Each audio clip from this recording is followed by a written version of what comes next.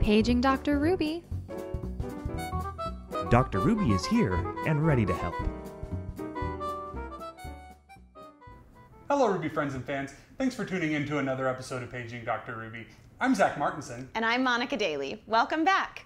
In today's episode, we'll be taking a look at making meaningful connections. This topic comes from Ruby client Pete, who asks I loved your Ruby Service Pyramid episode and all that it offered. I was wondering if you might elaborate on how to make meaningful connections with new clients. That's a superb question. Once you've spoken with your new customer and the ball is rolling, you have an excellent opportunity to start making some fantastic connections. Keeping it personal in the virtual world is the crucial first step. In a world of text messages, emails, and phone conversations, a note card, it really goes a long way. Yeah, great tip, Zach. Taking the time to welcome a new customer with a handwritten note shows them that you care by just taking some time out of your day to really thank them. Keeping it personal also means not getting stuck in verbal ruts. It's easy to use the same how are you type phrase with every call, but what is it really saying to your caller? Do you really care? Of course you do. So why not show it? Try mixing things up. Try something like, Hey, Steve, what's new in your world? Not much. Still recovering from Golden State's championship loss. But, you know, hanging in there. That LeBron, though, man.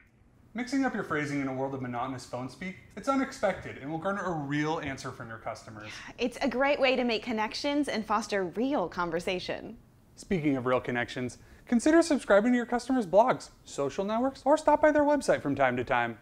Acknowledging your customers' successes, new hires, or struggles gives you the opportunity to really wow them. Exactly. They're investing in your company after all. Why not take the time to invest in theirs? Janet, wonderful to finally have a chance to catch up. I saw you scored a new paralegal. Congratulations. The bottom line is be sincere. If you genuinely care about your customers, they will notice and reciprocate. Every interaction is an opportunity to make your customers' day. It's the small things that count, and these are the interactions that really set your business apart. Yeah, there are millions of ways to accomplish these types of connections. So, to keep it easy, we recommend you keep these three tips in mind. First tip share your passion. Share why you got into your industry on your website and real photos of your office.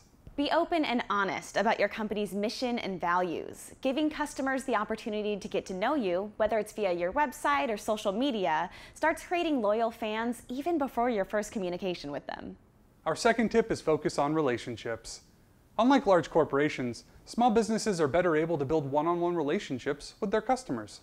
Word of mouth referrals are a huge source of growth for small businesses. When a customer feels cared for, they will tell their friends about your product or service, and this type of brand loyalty is invaluable. It's so true, and the easiest way to achieve this is to just keep a section of your client's accounts reserved just for special information, like their birthday or even their favorite sport.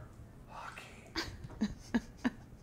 Our final tip is pay attention to the details. Everything from your website to your business cards, even the layout of your office entrance offers a chance to set a great impression and provides a unique experience for your customers. Well, that wraps it up for this episode of Paging Dr. Ruby. Huge thanks to Pete for his excellent question. If you're looking for communication advice or tips about the Ruby service, we're here to help. Dr. Ruby's always on the case. Send us your questions to Twitter at CallRuby, Facebook, or just simply put them in the comments below. Bye. Thank you.